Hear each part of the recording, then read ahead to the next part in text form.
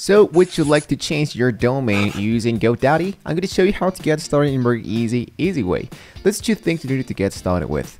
The very first thing you wanted to go is to go into your actual website. You wanted to change, of course, your domain. So look into your GoDaddy account. Start by logging into your GoDaddy account using your credentials. Once you're logged in, what you want to do is to go directly into the account dashboard. Once you're here into the account dashboard, we want to access the domain settings. In this case, I'm going to go for my domains for any reason actually this appears inside uh, into Spanish because I'm currently into Mexico City but you have to work the process exactly the same.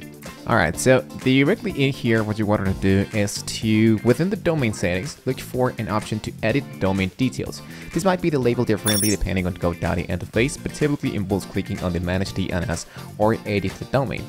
So in this case here is my workspace, here is my domain, so I click in it and it's going to be taking me here into my domain section. So I go once again into my domains, and you can see that we are in the configuration of this domain. So now what I wanted to do is to change this domain name. You wanted to locate the field where you can enter the new domain name, type the desired domain name that you wanted to change to. Keep in mind that the new domain name must be available and not already registered by someone else. If I go directly into my domain configuration, I wanted to go here and to delete this domain. And why is that? Because what I wanted to do is to delete this domain in order to create a new one. So sometimes you might be receiving a refund, sometimes you might receive a refund after you make the purchases, and of course depending on how much time you have used this domain linked.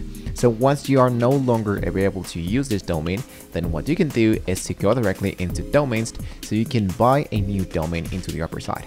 So I went for domain and I look out for a new domain. So this is part what you wanted to confirm the chases.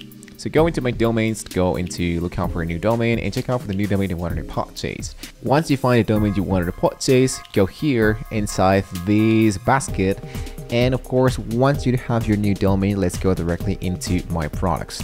Directly into my product what you want to do is now to change all these new sections of this DNS section of the domain and of course add those directly inside your new website in my case, it will be added into my custom domains of the Google.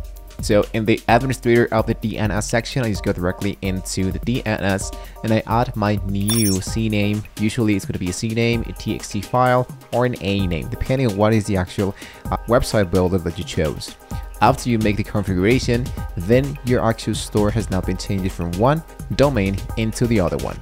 And that how guys is you change your actual domain from GoDaddy. You needed to give up your current domain and then purchase the other domain so you can now move on with the actual DNS managed records. And there you have it. With that being said, we can now reach the very end of the video. But don't forget to like and subscribe to the channel if you wanted to see more amazing tools with GoDaddy, domain listing, website building, and so much more directly into Tech Express.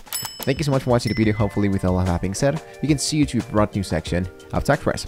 See you next time.